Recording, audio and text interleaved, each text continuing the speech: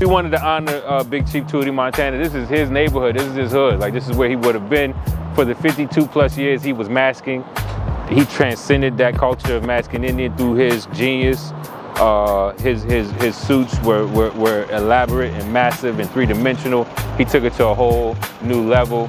This hardware store, this I'm sorry, this was a hardware store, Liberty Hardware.